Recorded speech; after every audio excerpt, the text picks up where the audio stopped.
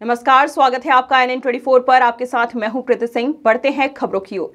हर चुनाव के बाद कोई ख्वाब बुनते हैं। जीवित लाश है हम, नए गिद्ध चुनते हैं।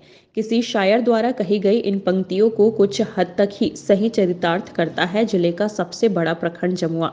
देश आज़ादी के बाद से जमुआ कभी खुद वीरान, सुनसान और अपने एक अदद राजनीति आका को तरसता हुआ, अपने स्थापना वर्ष उन्नीस सौ सत्तावन से कई बदलाव देखे। वहीं ताज़ा मामला बता दें कि जमुआ प्रखंड के नवडीहा पंचायत के हरिजन टोला में मूलभूत सुविधाओं से वंचित है। प्रखंड मुख्यालय से लगभग 25 किलोमीटर दूरी पर नवडीहा पंचायत में बसी हरिजन टोला के लोग मूलभूत सुविधाओं से कोसों दूर हैं। विकास का कोई लकीर नहीं खींचा गया है। इस टोला में आबादी बहुत कम है। एक भी चापाकल नहीं है। इस टोला में पानी की समस्या है। एक कुआँ जो काफ़ी गंदा है, लोग वो पानी पीने को मजबूर है। वहाँ के लोग बताते हैं कि नदी नाले से पानी लाकर पीते हैं। पंचायत स्तर से भी विकास का कोई खाका तैयार नहीं किया गया। वहाँ की महिलाएँ पगडंडी से होकर काफ़ी दूरी से पीने के लिए पानी घर लाती हैं। टोला वालों का कहना है कि उनके क्षेत्र के जनप्रतिनिधि कभी भी सूधी लेने नहीं आते हैं जबकि बहुत सारी योजनाओं की जानकारी भी लोगों को नहीं है। हम लोग का नहीं मिलता है सर। एक मिनट आप फिर से बताओ। वृद्धा पेंशन नहीं मिलता है मेरा मालिक को नहीं मिलता है, हमरा भी नहीं मिलता है। मालिक का देखिए, विकलांग है। हमको भी आँख में नहीं सूझता है। अब कमाने खाने वाला हम तो नहीं है, लेकिन अभी तक बोलते हैं मुखिया की, कि आपको उम्र नहीं हुआ है तो क्या मिलेगा तुमको वृद्धा पेंशन? यही मिलता है। सरकार द्वारा से रहते हैं, तिरपाल आड़ के बाहर में सोते हैं।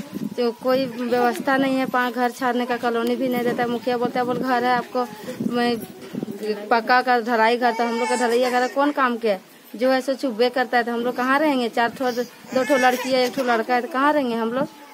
कोई चीज़ का व्यवस्था हम लोग कॉलोनी राज नहीं है क्या? और पानी भी हम लोग जाते हैं दूर लाने।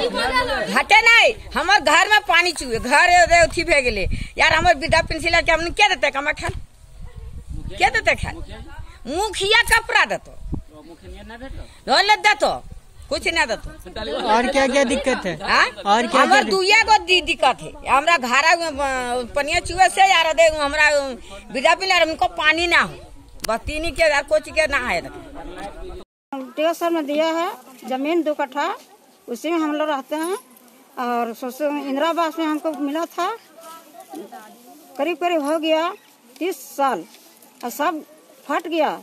उसी में हम लोग रहते हैं टूटा उसी सरकारी योजना, प्रधानमंत्री आवास उज्ज्वला योजना, पेंशन, जनधन योजना आदि के बारे में पूछने पर लोगों ने कहा कि पीएम आवास भी नहीं मिला है। लोगों ने बताया कि आवास जर्जर रहने के कारण वाहिद अंसारी सत्रह वर्ष को सांप ने काट लिया, जिसकी मौत हो गई और कुछ दिन बाद ही उसके वाहिद अंसारी के पिता फूची भाड़ को भी सांप ने काट लिया, लेकिन ग्रामीणों ने उन्हें सही समय पर इलाज कराकर बचा लिया। हर मूलभूत सुविधाओं से वंचित है वहाँ के लोग। बरसात में भी काफ़ी दिक्कतों का सामना करते हैं। वहीं दूसरी ओर बता दें कि तरौन गाँव के निवासी सुचित पंडित, पिता लटट पंडित बताया कि गाँव में गरीबी रेखा के नीचे जीवन गुजर बसर करने वाला अत्यंत पिछड़ा से आता हूँ तथा आज भी मेरा खपरेल का कच्चा मकान है, जिसके कारण जाड़ा, गर्मी एवं बरसात में रहने में काफ़ी दिक्कत होती है, जिसका मजबूरी का नाजायज फ़ायदा उठाते हुए मेरे पंचायत नवाडी के मुखिया सुमित्रा देवी के प्रतिनिधि ओम प्रकाश महतो, पिता स्वर्गीय दुखन महतो के द्वारा आज से पाँच वर्ष पूर्व प्रधानमंत्री आवास योजना के तहत पक्का मकान बनवाने के लिए तीस हज़ार रूपए लिया था। यह राशि हम तीनों भाई सूचित पंडित गौरी शंकर पंडित एवं बनारसी पंडित की तरफ़ से मिलाकर दिए थे। यह कि मुखिया का कार्यकाल समाप्त तो होने को है। इतने वर्ष बीत जाने के बाद भी हम तीनों भाइयों का पक्का मकान मुखिया पति के द्वारा नहीं बनाया गया है। रुपयों का तगादा करने पर ओम प्रकाश महतो का कहना है कि हम रुपए वापस नहीं करेंगे। अभी मकान नहीं बन सकता है। तुमको जहाँ जाना है, जाओ, हम रुपए वापस नहीं करेंगे। अगली बार फिर से मुखिया बनेंगे, तब मकान बना देंगे। बताया कि मैंने जमुआ प्रखंड विकास पदाधिकारी एवं उपायुक्त महोदय को भी ज्ञापन सौंपा था। फिर भी कोई कार्यवाही नहीं हुई। सरकार से आग्रह होगा कि मुझे जल्द से जल्द प्रधानमंत्री आवास दिलाया जाए, ताकि मुझे दिक्कत का सामना न करना पड़े। वहीं इस संबंध में मुखियापति ओम प्रकाश महतो से फ़ोन के माध्यम से बात की गई तो उन्होंने बताया कि मैं फ़िलहाल एक शादी समारोह में आया हूँ। सूचित पंडित के द्वारा लगाए गए सारे आरोप बेबुनियाद हैं। इस तरह मेरे द्वारा राशि नहीं ली गई है। सूचित पंडित और उनके भाई का प्रधानमंत्री आवास आया है, बहुत जल्द सूचित को प्रधानमंत्री आवास मिल जाएगा। चित पंडित ग्राम तरुण से सर जो ऐसे में आज के बाद, आज पिछले चुनाव जब हुआ था, उसी टाइम मुखिया जी को बोले थे कि कॉलोनी मुखिया जी मुझे दे दीजिए और जो ऐसे कॉलोनी दिक्कत हो रहा है घर उर के बारे में तो बोला, ठीक है। तो मुखिया जी आए तो दस दस हज़ार रुपये हमने तीनों भाई मिलकर दिए पैसा। और अभी तक जो ऐसे फिर बीच बीच में जब पूछते हैं, मुखिया जी को, कॉलोनी मुखिया जी मेरा नहीं हो रहा है तो पहला लिस्ट में, पहले लिस्ट में था नाम, अब दोबारा दिखा देता है कि रिजेक्ट हो गया तुम्हारा। फिर मैंने वीडियो साहब और डीसी साहब को भी आवेदन दिए, एक महीना हो गया।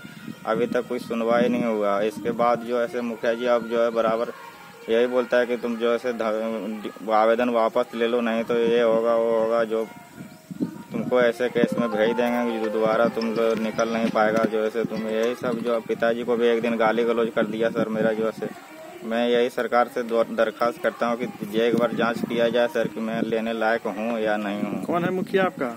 मेरा मुखिया पति ओम प्रकाश महतो। तो और कौन पंचायत पड़ता है? नव नवडिहा पंचायत। पैसा दिलम भे गए मुखिया जी कल के बोल हो जीतो कॉलोनिया। तुरते एक महीना के अंदर। अरे इतना दिन हो गए अभी तक ना दले सोसे घरा चुहे टूट टूट गए उन्हें प्लास्टिक टान लिये तैयो पर सोसे घरा चुभ जाए। बाँस लगी ले भैंस धैंस के गिर गिरते ले घर। कितना पैसा दिए हैं? हम ना जानिए कितना दे की मालिक दले।